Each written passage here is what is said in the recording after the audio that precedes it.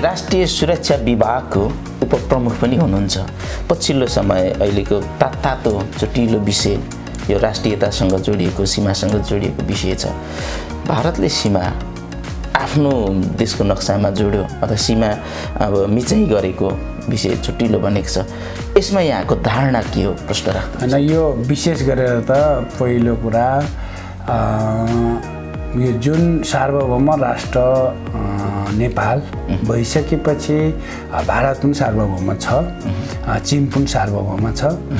त्यसो हुँदा भारतले त्यो ढङ्गले नेपाललाई हस्तक्षेप गर्नु हुँदैन भन्ने कुरा नै मेरो पहिलो दृष्टिकोण हो।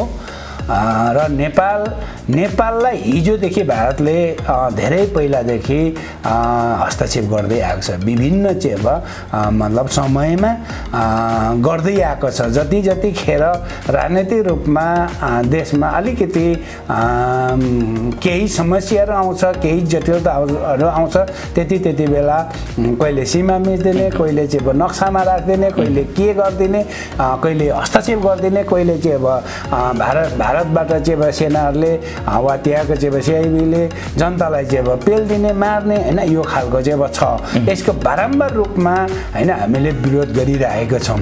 र यसको चाहिँ अब विरोध गर्नुपर्छ र त्यो चाहिँ अब भारत भारत सरकार वा भारतले जान्नुपर्छ किनभने ऊ पनि एउटा सार्वभौम राष्ट्र हो भने उसले बुझ्नुपर्छ नेपाल एउटा सार्वभौम राष्ट्र हो।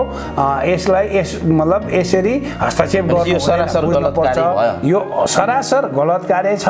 यो गलत कार्य चाहिँ अब भारतले गर्नु हुँदैन भन्ने कुरा नै हो। कतिपयले यस्तो पनि प्रसङ्ग ल्याउने गरेको छ। चिनको भव्य स्वागत भयो नि अस्ति भर्खरै। त्यसैको एउटा धक्का पनि हो कि भन्ने पनि भन्छ कि होइन यो त अब विभिन्न तर्क हुनसक्छ। चिनको अब राष्ट्रपति आउनुभयो अब त्यो उहाँहरूले कसरी लिनुहुन्छ? हामी त अब भारतको राष्ट्रपति पनि बोलाएर छौँ प्रधानमन्त्री पनि आइरहेको छ नेपालमा होइन? अब त्यो त के अरे एउटा चाहिँ अब कुटनीतिक चाहिँ अब एउटा सम्बन्ध। र चाहिँ अब एउटा चाहिँ अब देशीय मतलब अन्तर अन्तर्देशीय सम्बन्ध हो। हामी त भारतलाई पनि नजिक राख्न चाहन्छौँ।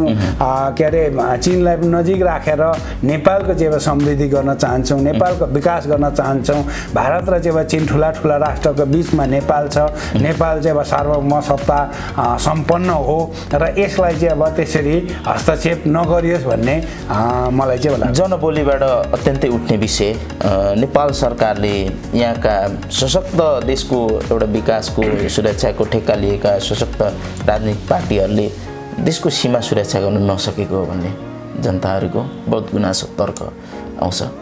के भन्नुहुन्छ? होइन यसमा विशेष गरेर सरकारले पहल गरि नै राखेको छ। त्यसमा चाहिँ अब वार्ता गर्ने कतिपय कुरा यदि यो खालको चाहिँ अब ऊ गर्नुपर्छ भनेर एक खालको चाहिँ अब चाहिने परराष्ट्र मन्त्रालयहरूबाट चाहिने सिधा सिधा चाहिँ अब प्रधानमन्त्री स्तरमा कुराहरू भइ नै राखेको छ।